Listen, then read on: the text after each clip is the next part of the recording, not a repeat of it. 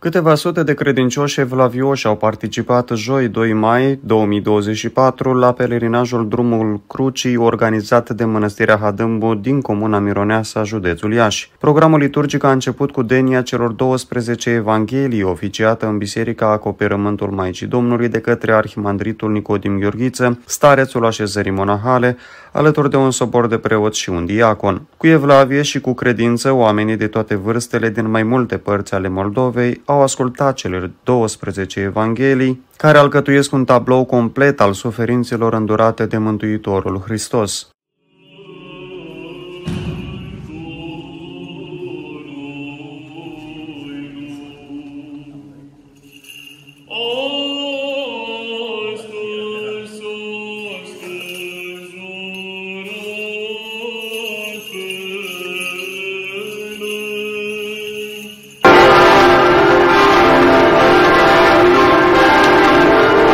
Soborul slujitorilor a pornit apoi în dangătul clopotelor din impunătoarea clopotniță, ridicată cu multă jertfă spre slava lui Dumnezeu, spre poarta Bucuria Crucii aflată la baza dealului care duce spre așezarea monahală ocrotită de Maica Domnului. În dreptul primei troițe, părintele stareț Nicodim a dat binecuvântarea pentru rânduiala procesiunii special alcătuită de către înalt preasânzitul părinte Calinic, arhiepiscopul Sucevei și Rădăuților în vremea slujirii ca episcop vicar al arhiepiscopiei Iașilor. În cadrul slujbei la fiecare din cele 14 troițe s-a citit câte un pasaj din Sfânta Evanghelie care face referire la patimile Mântuitorului Hristos. În cadrul ecteniilor au fost pomeniți ierarhii Arhiepiscopiei Iașilor, iar ctitorii fiecarei troițe au oferit pelerinilor apă și dulciuri. Binecuvântat este Dumnezeu nostru totdeauna, acum și pururea și în vecii vecilor.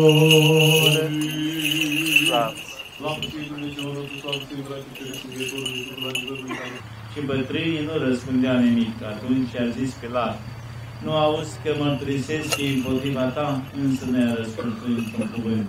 Încât dregătorul se mira foarte mult.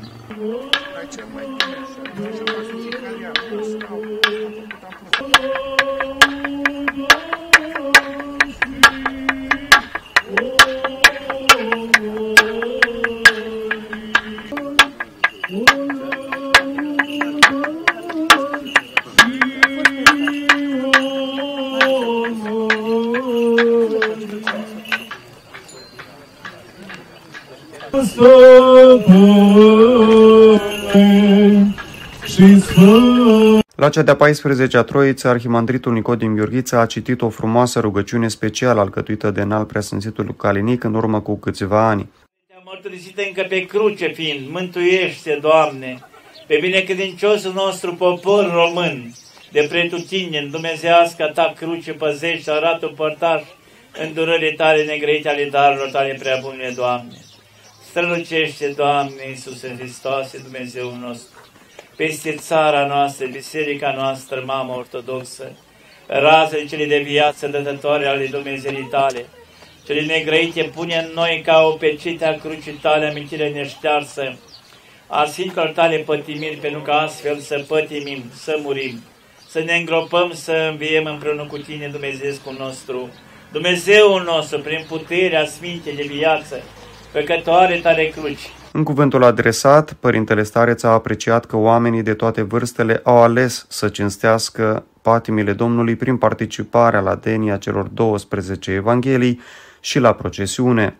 Să pășim în numele Domnului, unde Măicuța Domnului ne numără pașii, fiecare pas, la fiecare oprire, la fiecare troiță, la fiecare cruce. Să-i mulțumim milostivului Dumnezeu că astăzi am reușit să fim prezenți în această sfântă, binecuvântată zi, unde de altfel cei care ați fost prezenți la denia celor 12 Evanghelie, care a început la ora 14 ca să reușim să parcurgem drumul crucii care de mil ajutorul Dumnezeu l-am parcurs de la poarta Bucuria Crucii până în a 14-a Troiță. Rugăm pe milostivul Dumnezeu să primească puțină rugăciunea noastră a tuturor celor prezenți. Să primească puțină jertfa noastră astăzi, în comparație cu crucea Domnului care a suferit și a pătimit și a fost umilit și scuipat pentru păcatele noastre, răscumpărarea păcatelor noastre, cât de ușoară poate fi crucea noastră. Ați observat cât de greu și cu o nevoie este de urcat 2-3 pași pe jos în numele Domnului Isus Hristos. Știți că vă admir de fiecare dată, în afară de praznic împărătesc ca înălțării Sfintei Cruci, unde vin mii, mii de credincioși pelelini la, tot la acest eveniment mare, am propus cu obștea Sfinte noastre mănăstiri în această săptămână a patru de câțiva ani de zile unde avem această prea frumoasă rânduială, să parcurgem în săptămâna patimilor, în Joia Mare, ă, calea crucii. Nu știu cum să vă mulțumesc, frăților voastre, se vede lucru că Evlavia, Râvna, credința frăților voastre v-a adus astăzi în dealul mare la mănăstirea Hadâmbu, unde, dacă îmi dați voie să spun, este unicat, unicat acel drum a cruci în afară de unde am fost îmbrăcat prima haină monahală, dacă ați auzit de cea mai veche mănăstire din Arad, Hodoș Bodrog, unde de acolo am luat uh, drumul crucii care îl săvârșesc și cu ajutorul lui Dumnezeu, a fiilor duhovnicești, știți prea bine că, iată, sunt peste 15 ani când uh, parcurgem pe 14 septembrie la înălțarea Sfintei Cruci și în Joia Mare uh, parcurgem drumul cruci.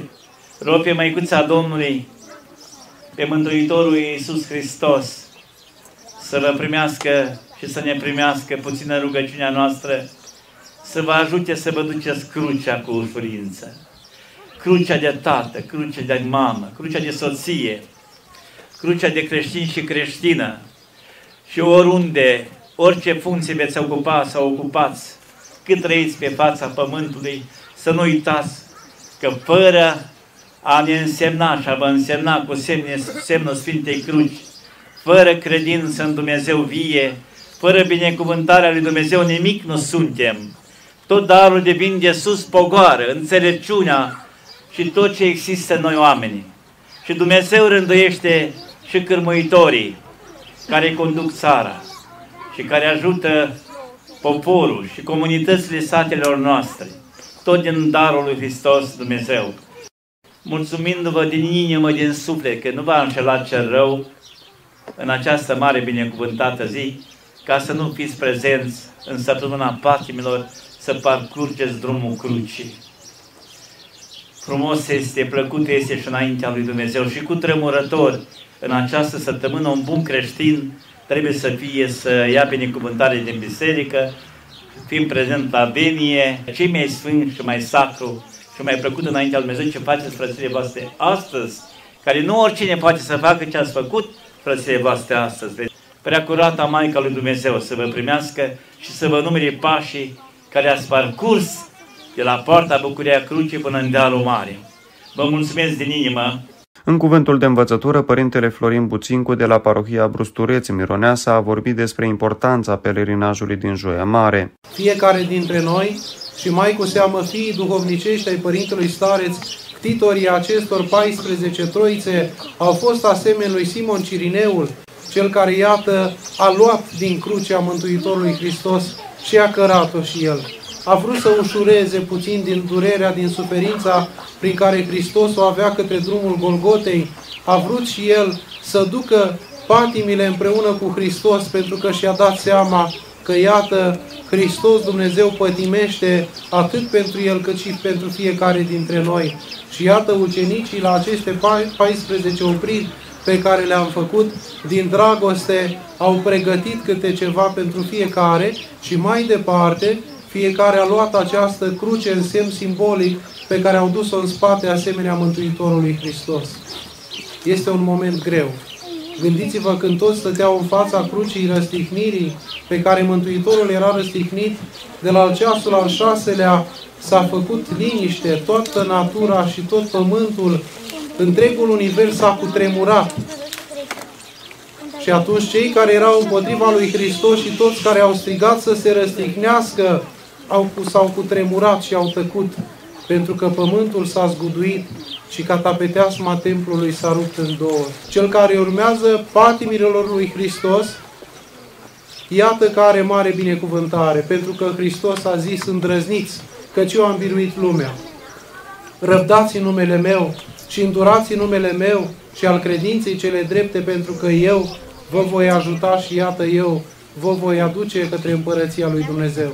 Și ce model mai frumos și viu poate fi în fața noastră, dragii mei, decât iată însă și această sfântă mănăstire, care prin persoana Părintelui Stareț, iubitor al Maicii lui Dumnezeu și iubitor de Dumnezeu, iată, a venit mai bine de 34 de ani în acest loc părăsit și a îndurat în numele lui Hristos, dar iată cu credință în Dumnezeu și în Maica Domnului și cu rugăciune foarte multă.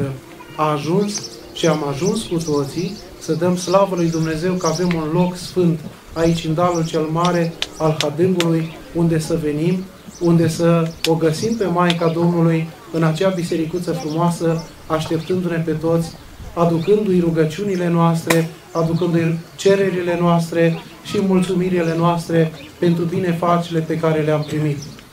Îi mulțumim Părintelui Stareț că ne oferă această ocazie de 15 ani să parcurgem acest drum al pătimirilor și noi și să înțelegem pentru ce Hristos s-a întrupat, pentru ce Hristos a venit pe pământ în chip de om și pentru ce a pătimit. Pentru ca noi să avem acces la mântuire, la împărăția lui Dumnezeu. Fie ca Bunul Dumnezeu și Maica Domnului să vă întărească și să ne dea putere în această cale, ca pe această cale a pătimirilor pe care o mai avem de parcurs până la slăvita învierea Mântuitorului Hristos, să avem pace, bucurie și ajutor. Procesiunea a continuat la monumentul Maica Domnului Ocrotitoarea României din parcarea așezării monahale și s-a încheiat la icoana făcătoare de minunea Maicii Domnului din Biserica Monument. Toți pelerinii au primit la final o masă caldă din partea mănăstirii Hadâmbu. Cu mare bucurie am urcat dalul la Hadâmbu.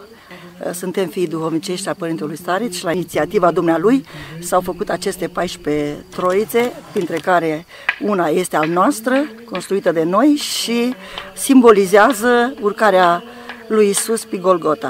Și an de an, Părintele organizează foarte frumos acest pelerinaj și eu aștept cu mare bucurie pe cei care urcă acest deal. De bucurie, de satisfacție și, bineînțeles, credință către cel de sus. Pe noi, cu mare bucurie, cu inimă deschisă, am venit aici. Este prima dată când particip uh, la acest eveniment aici pe Dealul Mare, de la Sfânta Mănăstire Hadâmbu și într-adevăr parcă cu bucurie, deși după o zi de lucru am ajuns puțin uh, mai obosit, dar uh, iată că um, luând crucea Domnului Isus Hristos și parcurgând o parte din drumul pe care l-a parcurs Domnul nostru Isus Hristos spre răstignire, Uh, am prins putere și cu parcă ne-a trecut și oboseala de, de în ziua de astăzi. Suntem recunoscători Părintelui Stareț Nicodim Gheorghiță care ne-a invitat astăzi aici și ne-am adunat într-un număr atât de mare și parcă am văzut uh, chipurile zâmbitoare și ale oamenilor care participă la acest eveniment. Sigur, este o săptămână plină de încărcătură duhovnicească și parcurgând și drumul crucii, ne face mai puternici și să primim lumina învierii cu mai mare bucurie. Drumul crucii sau drumul durerii este calea urmată de Domnul nostru Iisus Hristos purtând crucea pe umeri de la pretoriu, unde Pilat din Pont a dat sentința de condamnare la moarte, până la Golgota, locul unde a fost răstignit. Conform Sfintei Scripturi, și tradiției, drumul crucii din Ierusalim este marcat de 14 opriri.